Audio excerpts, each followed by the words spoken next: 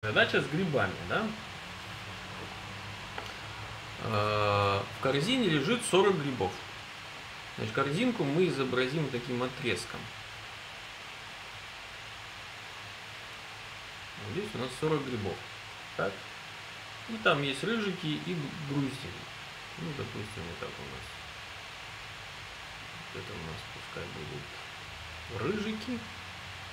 Тут будут груздины. Мы их условно разделим. Грузди.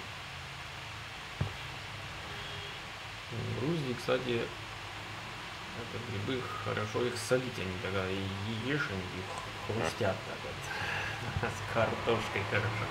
Я даже собирал эти грибы. И еще разных цветов бывает. Интересные грибочки. Значит, всего 45 грибов. Известно, что среди любых 17 грибов имеется хотя бы один рыжик. А, значит, всего вот у нас вот здесь сказано 40 грибов. 40. Среди любых 17 грибов имеется хотя бы один рыжик. Любых 17 хотя бы один рыжик.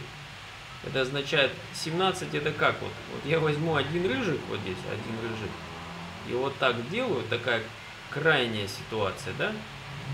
Ну это получается, вот это 17 у нас, да, грибов. Ну, значит, получается реально груздей это 16 штук. Хотя бы один, да, любых 17 имеется в любую сторону, но если я все грузди возьму, ну, хотя бы один должен быть рыжик, да? Так. Ну и аналогично про грузди. А среди любых 25 грибов хотя бы один грусть. Ну, это имеется в виду вот такая картинка. Давай То есть мы берем все, вот здесь один у нас грусть.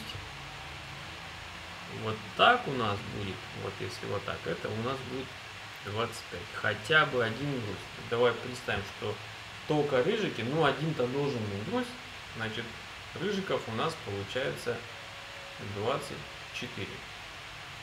Проверяем. Вместе 40 должно быть. 24 плюс 16 40. Ну, действительно 40. Сколько рыжиков э, в корзине? Ну, рыжиков получается 24. Все.